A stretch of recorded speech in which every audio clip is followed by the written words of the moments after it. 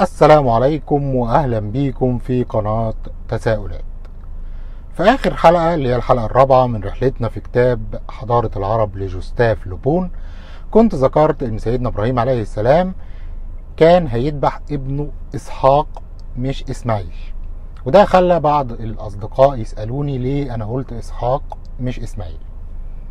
الحقيقة أنا جاوبت عليهم بنقطتين. لو عايزين تعرفوا إيه هما النقطتين خلوكم معانا لآخر الحلقة ويلا بينا.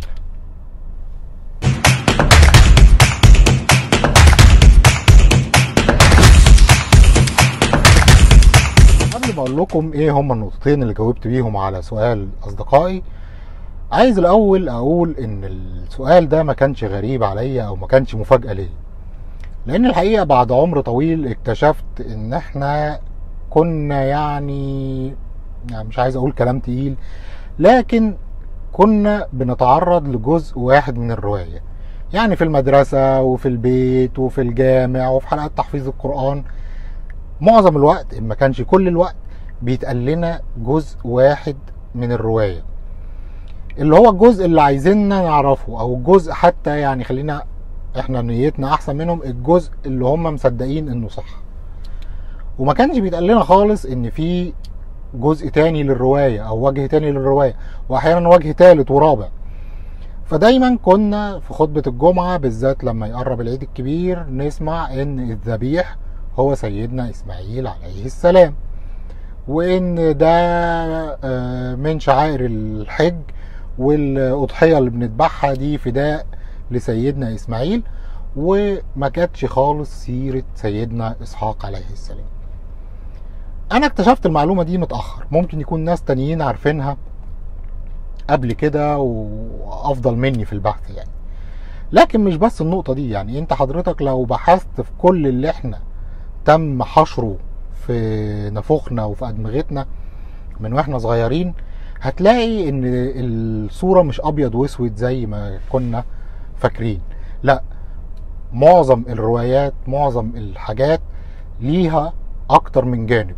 لكن إحنا كنا دايما بناخد جانب واحد بيتم تلقينه لينا وبنستمر عايشين عليه طول حياتنا. مثال يعني وانتوا بحثوا فيه براحتكم تربية الكلاب وهل الكلب نجس فعلا؟ ولو لمسك ما ينفعش تصلي وي وي وي. ولا في أقوال تانية؟ فدوروا وقولوا لي برضو إيه رأيكم. وقبل ما أقول لحضرتك الإجابتين عايز أقول لك إن أنا جايب إجابتي في النقطة التانية من كتاب ابن كثير اللي هو من أشهر المفسرين للقرآن الكريم. لكن ابن كثير ما عملش زي الناس اللي كانت بتعمل معانا وإحنا صغيرين. ابن كثير عرض الروايتين وبعدين رجح رواية وقال على الرواية التانية إنها ضعيفة ولا تصح. فإيه هما النقطتين اللي أنا جاوبت بيهم على سؤال أصدقائي؟ ليه أنا قلت إن سيدنا إبراهيم كان هيذبح ابنه إسحاق مش هيذبح ابنه إسماعيل. النقطة الأولى إن ده كلام المؤلف اللي هو جوستاف لوبون صاحب كتاب حضارة العرب. وأنا بنقل كلامه فمن الأمانة العلمية بتقتضي إن أنا أنقل كلامه زي ما هو. مش معنى إن أنا عندي رأي مخالف للي هو كاتبه فأنا أقوله. عشان كده هتلاقيني في أوقات كتير مثلا بذكر اسم الرسول عليه الصلاة والسلام محمد زي ما هو كاتبه. حتى المؤلف كاتبه كده. يعني الكتاب مطبوع زي ما المؤلف كاتبه.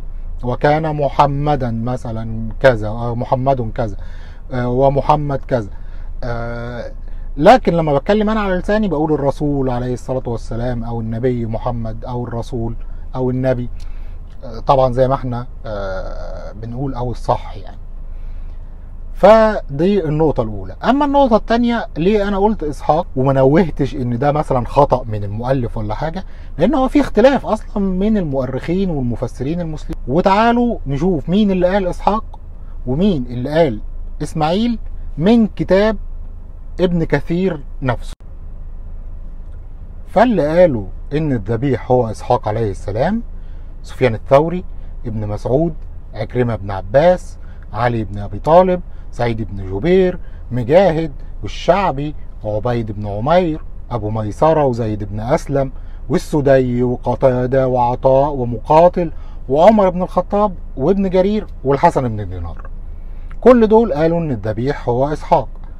طيب أمال مين اللي قالوا إن الذبيح هو إسماعيل عليه السلام؟ ابن عمر سعيد بن جبير عامر الشعبي مجاهد عطاء والحسن بن دينار. وما تستغربش لو لاحظت إن في أسماء مكرره في الفريقين لأن أصلا الفريقين ناقلين عن مصدر واحد وهو ابن عباس. وده اللي قاله ابن كثير إن ابن عباس عنده روايتين. رواية بتقول إن الذبيح هو إسحاق عليه السلام ورواية بتقول إن الذبيح هو إسماعيل عليه السلام. لكن ابن كثير اختار رواية واحدة ورجحها. أنا مش لكم إيه هي عشان تدوروا وتقروا فيا ريت أنتوا كمان تدوروا وتقروا لأن الفرقتين عندهم أسباب منطقية لأنهم يقولوا إسحاق أو إسماعيل وقولوا لي أنتوا رأيكم إيه ومع أنهي فريق وما تنسوش تعملوا لايك واشتراك في القناة وإلى اللقاء.